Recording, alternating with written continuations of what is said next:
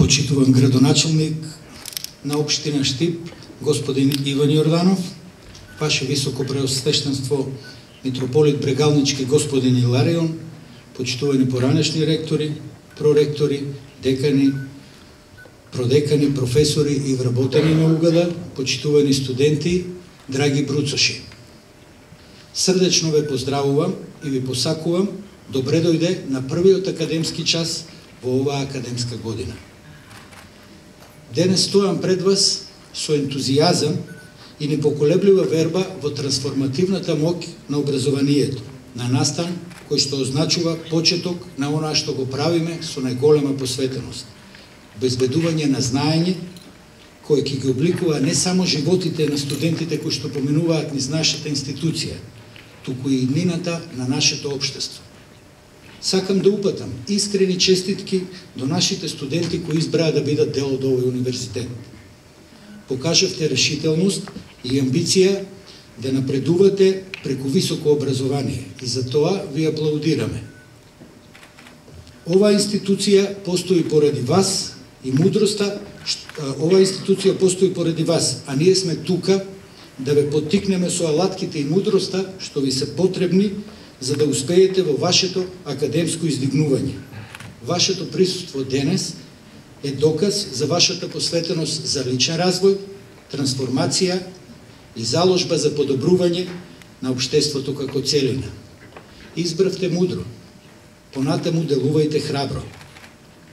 Дозволете ми да издвојам момент и да им одадам признание и на нашите посветени професори, административниот кадар и сите вработени без чија страст за академска работа, настава, истражување и квалитетна услуга кон студентите, универзитетот не може да постои.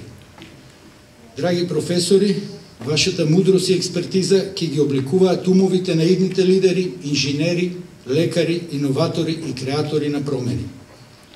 Образованието во рамките на нашиот универзитет не е само стекнување знаење, паметење на факти или полагање испити. Станува збор за разбирање на светот, стекнување на вештини и поместување на границите на она што е можно. Нови перспективи и искуства кои ќе ве потикнат да направите позитивно влијание не само за вас самите, туку и врз светот. Тоа подразбира и негување на страст за учење која што ќе остане во вас целиот живот.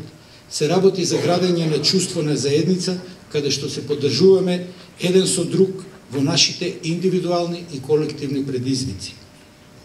Додека се впуштате во ова нова образовна приказна, ве охрабрувам да бидете любопитни, да поставувате прашања и да барате одговори. Ве предизвикувам да излезете од вашата комфорна зона и да истражувате нови хоризонти. И пред себе замолувам да бидете издржливи пред предизвиците, бидејќи токму предизвиците најчесто ги со предизвиците го откриваме нашиот вистински потенцијал. Од секој предизвик излегувате посилни, помудри и поотпорни. Заедно да се водиме од зборовите на големиот Нелсон Мандела – Образованието е најмакно оружје кое што може да го користите за да го промените светот.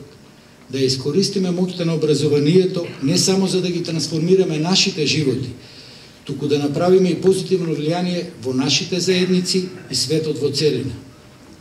Драги наши студенти, денес почнувате ново поглаве во вашиот живот. Прифатете го и вие со ентузијазам, љубопитност и оптимизам. Дозволете ни да создадеме наследство на академска изморедност, иновации и позитивни промени што ќе ги инспирираат генерациите кои доаѓаат по нас. Ве уверувам дека сме посветени да ве обезбедиме најдобро можно образование и поддршка. Среќен почеток на новата академска година. Ви благодарам.